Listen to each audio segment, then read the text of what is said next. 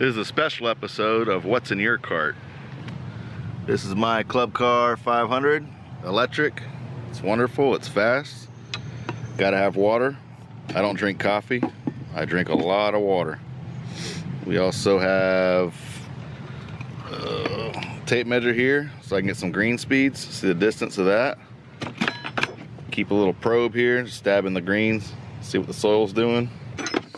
What else do I got here? Gotta have a mag light. Keep a little putter, putter around sometimes.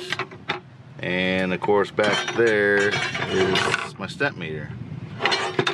I also have, I don't know, about 40 or so palm fronds. That's what a little storm will do to you. It's my second load.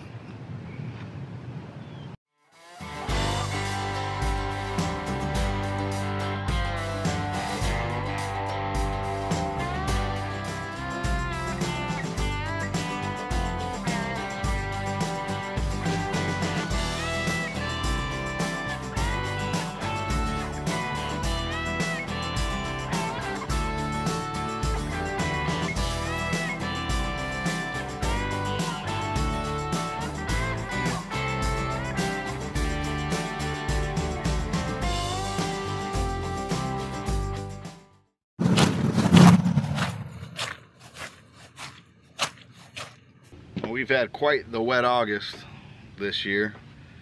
16.4 inches of rain for August. We normally average 12 inches. Um, plus add that tropical storm Gordon to us and we got one wet golf course. That's the reason we started out the week, cart path only. We'll see if it dries up and uh, we can get some golf carts out there at least 90 degrees. But we'll see how the weather continues. That being said, uh, since we don't allow carts on the course, that also puts us behind of getting equipment out there on the course.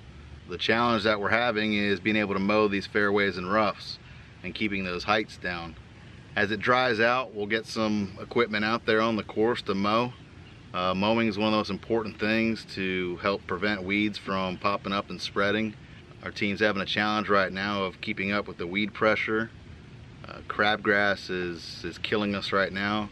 One technique we've been using in the mornings is by using straight salt. This only works in the morning when we have a little bit of dew and it's a little bit moist, especially good on the crabgrass. We'll just sprinkle a little bit of salt on the weed and the weed will end up burning up. Uh, here's kind of what it looks like after a treatment. So you may see a lot of these spots that are white and yellowish uh, throughout the golf course. That's us killing the crabgrass with uh, primarily using just straight salt, just like you would in your uh, kitchen table. Once again, thank you for watching. Stay tuned next week and we'll continue to give you updates on our golf course maintenance here at Wilderness.